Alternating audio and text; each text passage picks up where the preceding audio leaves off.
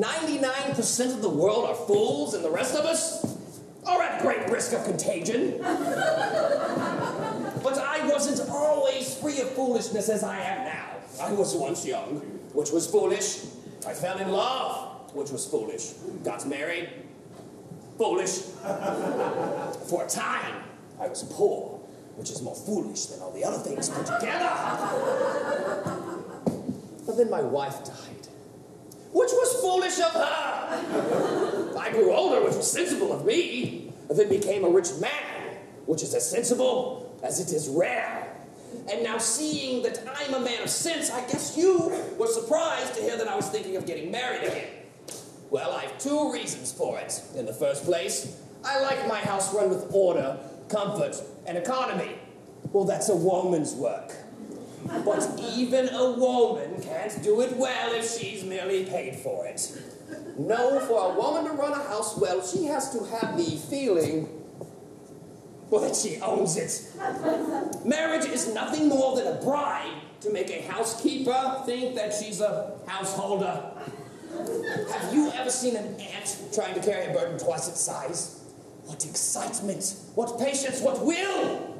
That's what I think of when I see a woman running a house. What giant passions inside those little bodies!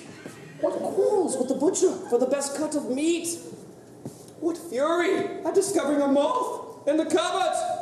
Believe me, if women could harness their natures and move beyond such things as houses and baby carriages, they'd change the world.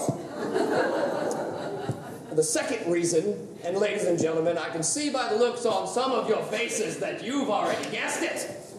There's nothing like mixing with women to bring out all the foolishness in a sensible man. That's a risk I'm willing to take. You see, I've just turned 60 and laid side by side the last dollar and my first half million. And so I think that if I should lose my head a little, well, at least I'll have enough money left to buy it back.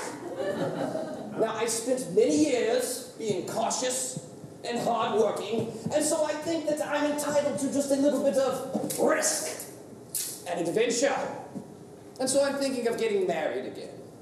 And just like all the rest of you fools, I'm willing to trade a little security for a certain amount of adventure.